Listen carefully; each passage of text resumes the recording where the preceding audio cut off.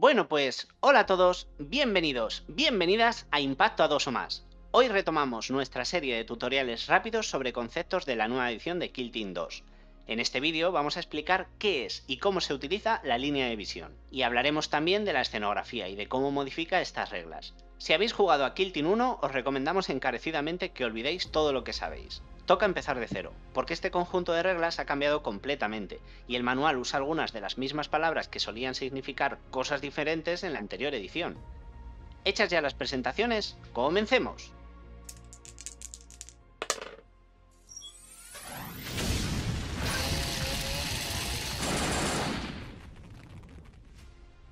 Para entrar en materia, vamos a analizar algunos conceptos clave que más adelante explicaremos en profundidad.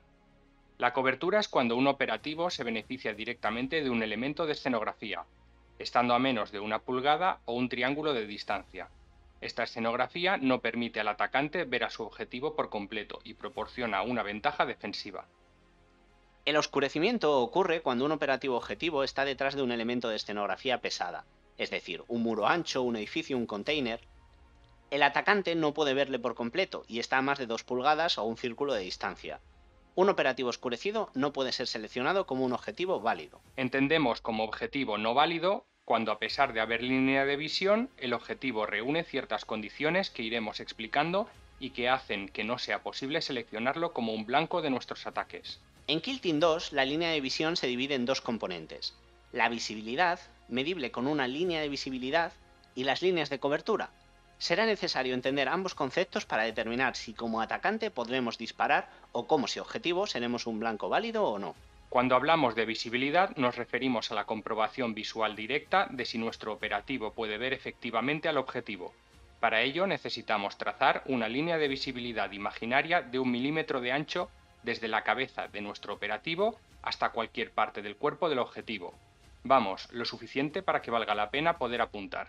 Hay que tener en cuenta que esta visibilidad no es recíproca, es decir, al medirse desde la cabeza del atacante a cualquier parte del objetivo salvo la peana, es posible que nosotros podamos tener línea de visión desde la cabeza de nuestro operativo a una extremidad del enemigo, pero nuestro enemigo no sea capaz de devolvernos el disparo desde su posición, porque su cabeza esté detrás de la pieza de cobertura. Por lo tanto, y como avanzamos ya, en Kill Team 2 el posicionamiento de los operativos es clave. Las líneas de cobertura representan el área de disparo en el que el atacante puede disparar. Este área es básicamente un cono desde cualquier punto de la peana del atacante que abarque la totalidad de la peana del objetivo, tal y como podemos ver en la imagen. Si en cualquier punto de la longitud del cono hay un elemento de escenografía que se interponga, estas líneas de cobertura se ven interrumpidas, por lo que dependiendo del resto de condiciones de orden y posicionamiento de las miniaturas, tendremos una serie de situaciones diferentes que analizaremos posteriormente. Para terminar de clarificar cómo medir estos dos conceptos, se podría decir que la línea de visibilidad se mide en 3D, desde la cabeza del atacante al cuerpo del objetivo, y la línea de cobertura se mide en 2D sobre el suelo y tomando en cuenta las peanas de las miniaturas. Siguiendo desde el punto de vista del atacante, en el caso de que se encuentre a menos de una pulgada de una pieza de escenografía ligera o con visibilidad en una pesada, es decir, ventanas y huecos en las paredes, se considera que su línea de cobertura no se interrumpe y la pieza de escenografía pasa a ser completamente ignorada a efectos de apuntar a un objetivo. Como se puede ver, tenemos visibilidad del objetivo a través de una ventana que es considerada una escenografía pesada, y dicha escenografía, al estar a menos de una pulgada, es ignorada a término de interrumpir la línea de cobertura. Habiendo entendido bien estos dos conceptos, pasaremos a ver qué es y cómo podemos determinar el oscurecimiento de un operativo.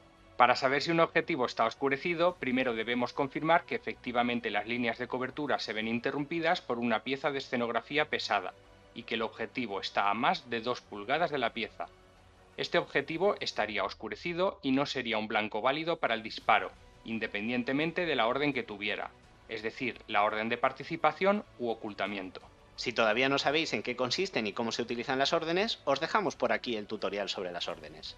Esto es así porque se considera que si el enemigo está lejos, borroso y en parte tapado por un muro, el atacante tiene realmente mermada su capacidad de poder apuntar con efectividad y por ende el atacante no disparará. Por tanto, si el objetivo es visible pero está a más de 2 pulgadas de un elemento de escenografía pesado, no está en nuestra línea de visión. Por otro lado, el caso más especial al que nosotros hemos decidido llamar punto muerto ocurre cuando el objetivo está a más de una pulgada de la escenografía y a menos de dos. En este caso, independientemente de la orden que tenga, será un blanco válido para el disparo. Ojo con esto. A pesar de que el atacante tenga obstruidas sus líneas de cobertura, será más fácil para él apuntar libremente, y por lo tanto el objetivo pierde tanto la posibilidad de oscurecimiento como de estar en cobertura, así como el beneficio de la orden de ocultamiento. Para aclarar todo lo que hemos visto hasta ahora, veamos diferentes ejemplos. Primero, considerando el posicionamiento del atacante, si está a menos de una pulgada o un triángulo de un elemento de escenografía, puede disparar ignorando dicho elemento. Ocurre lo mismo si nuestro operativo dispara desde una ventana o apertura de un elemento de escenografía pesada, y siempre que esté a menos de una pulgada de distancia. Si el atacante está a menos de dos pulgadas de un elemento de escenografía que normalmente proporcionaría cobertura a un objetivo, se considera un disparo a bocajarro, y esta cobertura es ignorada, permitiendo también hacer blancos sobre objetivos con una orden de ocultamiento. Ahora, si el atacante está a más de 2 pulgadas, para saber si su objetivo que está detrás de una escenografía es un blanco válido o no, tenemos que medir la distancia de dicho objetivo respecto a esta escenografía. Si el objetivo está a menos de una pulgada de un elemento de escenografía o de un operativo aliado y tiene una orden de participación, es un blanco válido que se beneficia de la cobertura, mientras que si tiene una orden de ocultamiento, no es un blanco válido y no puede ser elegido como objetivo. Si el objetivo está a más de una pulgada y menos de dos, es un blanco válido independientemente del tipo de orden que tenga. Es lo que llamamos el punto muerto. Por último, si el objetivo está a más de 2 pulgadas de un elemento de escenografía pesado, se considera oscurecido y no es un blanco válido independientemente del tipo de orden. Mientras que si está detrás de un elemento de escenografía ligero y a más de 2 pulgadas, no está oscurecido ni en cobertura y se le puede disparar. Para terminar de comprender la cobertura, si estamos dentro de una pulgada de distancia de un elemento de escenografía o de un operativo aliado y tenemos una orden de participación, podremos beneficiarnos de la cobertura, lo que implica que podremos asegurar un dado de salvación sin necesidad de lanzarlo. Es decir, que si el objetivo se encuentra en cobertura y como defensa lanzaría tres dados, uno de ellos puede ser considerado como un éxito automático normal, y por lo tanto lanzar únicamente dos dados. Esto por supuesto es opcional, ya que nos encontraremos ocasiones en las que queramos lanzar los tres dados buscando la posibilidad de salvaciones críticas, sobre todo si el atacante ha sacado varios seises en su tirada. Bueno, si habéis conseguido llegar hasta este punto del vídeo y no os ha explotado la cabeza, enhorabuena. Ahora sois expertos en lo relativo a las reglas de visión de Kill Team 2. Ahora vamos a revisar la escenografía y cómo afecta a estas reglas de visión. Ya hemos hablado de la escenografía pesada y de cómo provee cobertura y oscurecimiento. Por otro lado, la escenografía ligera provee cobertura pero no oscurecimiento. Ambos elementos permiten que un operativo con orden de ocultamiento no sea un objetivo válido si está a la distancia correcta.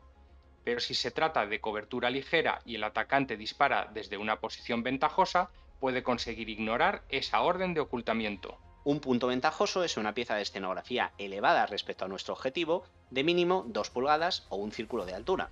Disparar desde un punto ventajoso nos permite ignorar la orden de oscurecimiento de un objetivo que esté beneficiándose de la cobertura por estar a menos de una pulgada de un elemento de escenografía ligera o de un aliado.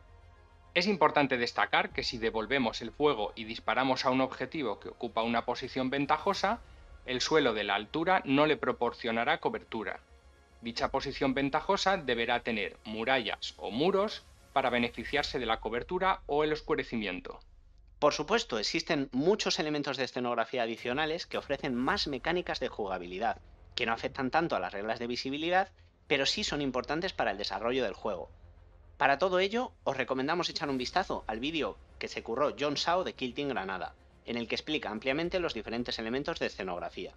Tened en cuenta que todas estas explicaciones están basadas en la interpretación y traducción directas del libro de reglas de Kill Team en inglés.